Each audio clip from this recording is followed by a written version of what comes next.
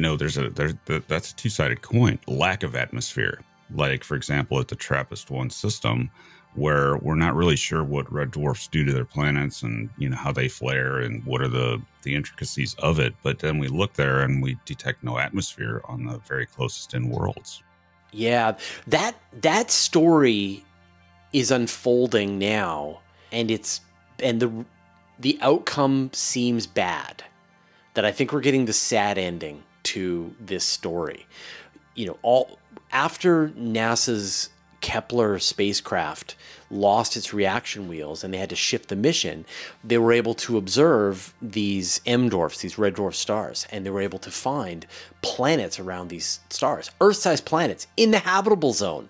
And of course, famously, we know of the TRAPPIST 1 system. And so this is the hope, right? That that maybe we weren't able to find the Earth-like worlds orbiting around sun-like stars, but maybe we're going to find these Earth-like worlds around red dwarf stars. They're they have a habitable zone, but these stars are also awful. They have flares that are much more powerful than a star of that you would expect of that size. The planets, because the star is giving off less radiation, the planets are huddled up close, and so they're just taking enormous solar flares, broadsides, just one after the other. And the worry is that these planets, even though they might be in the habitable zone, they are just too scorched by their star to be habitable. And we saw you know, with, thanks to Webb, we got analysis of the first two planets in the TRAPPIST 1 system, B and C. And the hope was that maybe these are going to be super Venuses. And nope, they're airless. So they're super Mercuries. And then maybe the hope is TRAPPIST 1D, which is the first planet that's going to be you know, in the habitable zone, TRAPPIST 1D, E, and F. Those three worlds are in the habitable zone around this star and we haven't seen the official results. But like I talked to a researcher in a recent interview, and he's not particularly enthusiastic about the results, and he sort of feels like like the writing is on the wall now that that red dwarf stars kill their planets, and so we might have to throw out that entire class of planets as being just too awful and move on to the to the larger stars with less, you know, where the planets are farther away in the habitable zone and the and the stars produce less deadly flares. There's still hope though, and unfortunately, this is a this is a far hope because we can't detect this. But that some of those those planets in a in a you know red dwarf systems might have ice shell moons and may host a sort of that secondary habitability that's protected from the radiation of the star. But the thing is, is you can't detect it. It's you know it's locked under ice. Right. I mean, once you've got things under ice, one, then you're protected from the radiation. You don't you don't have to worry about the atmosphere. But then it like, I don't think we like. Yes, there could be life on Enceladus or Europa, but that's not what we're imagining when we're thinking about a, a world filled with life. We're imagining some forest moon, right, of Endor, not a ocean with space whales under 100 kilometers of ice. Now, there is hope, though, because if the red dwarfs are problematic and unlikely to host surface exoplanet life, Earth like life, you still have another entire class. In addition to Type G, you also have Type K, the orange dwarfs. And my understanding is that these are really difficult to study exoplanets and characterize their atmospheres around the orange dwarfs because of glare. Have you heard anything about that?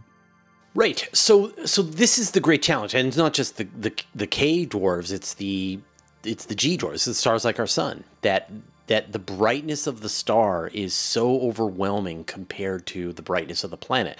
It's a factor of 10 billion. So so in other words, you've got to be able to dim the star by a factor of 10 billion to get at the light from the planet. If there was no star, and yet the star was illuminating the planet somehow, then we could see it with the kinds of telescopes that are available today. James Webb could see this, but the star is overwhelming. And so James Webb is equipped with a coronagraph that is able to dim the light of the star, and it's pretty good. Um, the Nancy Grace Roman telescope, which is the next big space telescope that NASA is working on, is got you know its main job is to characterize dark dark matter dark energy to map out the cosmos but it also has a next generation coronagraph on board that theoretically should be able to dim the light of the star by a factor of 100 million and that should be enough to dim the light from a star to be able to reveal Jupiter type worlds orbiting around a sun like star.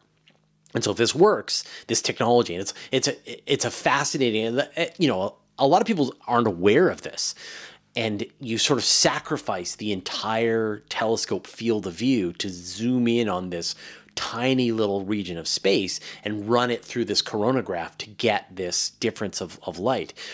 But Nancy Grace Roman should be turning up exo Jupiters.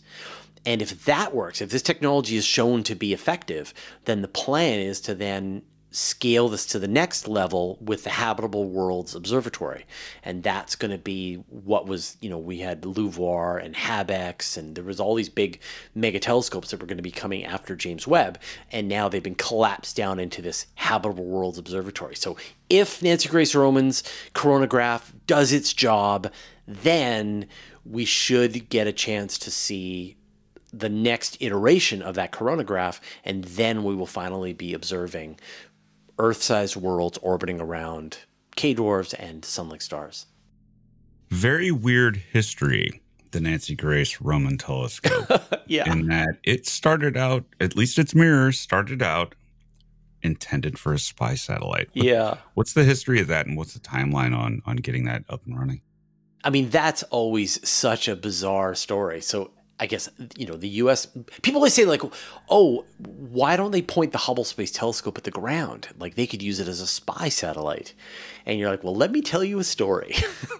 Which is that back in the early 2000s, the military contacted NASA and said, We've got these two Hubble class telescopes that we don't need, that aren't good enough anymore for the kind of ground of Earth observation that we do, the kind of spying that we like to do. That these two Hubbles, two, were not good enough, and so said, "Do you want them?" And NASA was like, "Of course." And so they they they built one into one telescope. I forget which one is IPXC. Anyway, they built one into a telescope, and then the second one is the Nancy Grace Roman. And so they changed the optics on it so that it's got this really big, wide field of view, and it's due to launch 2027. Yeah, 2027. And so the Nancy Grace Roman telescope is due for launch in 2027. And, you know, it's the next big space telescope that I'm quite excited about.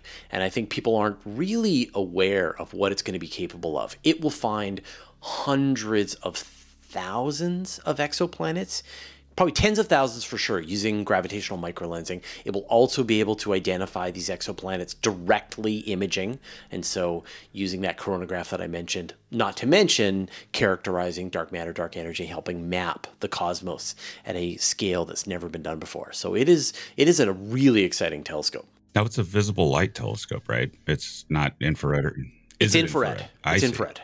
Yeah. Yeah, but not infrared in the in the same yeah, it's near infrared, so it's not in the same class as. Well, that's as that actually makes James sense Webb, for spy satellite.